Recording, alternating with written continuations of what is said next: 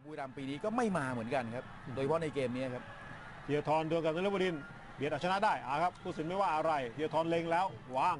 ทางขวาบอลถึงเอาลงพื้นแล้วซัดโดยโดโตเบลลี่โอ้โหสองสองแบบไม่ต้องจับนะครับลูกนี้เฉียบขาดมาก โอ้สวยงามมากครับ กลับมาได้เร็วครับบุรีรัมย์ยูไนเต็ดครับโอ้โหที่ครับ ดูครับเนี่ยวางยาวจากแถวกลางสนามนะครับ จับบอลแรก 1 แล้ว 2 ใส่เลยครับ โอ้โห บอลอย่างขนาดนี้ก็ไม่ต้องรับแล้วครับรถสปอร์ตสีเรืองกลับมาว่ากันใหม่2-2ครับโอ้โหวางได้เต็มข้อลูกนี้ของทางอัลโตเบลลี่ดูครับ เห็นมีพื้นที่ว่างนี่วางมั่นๆเลยครับธีราทรบุญมาทันแล้วกดใส่ตรงมุมเดียวครับ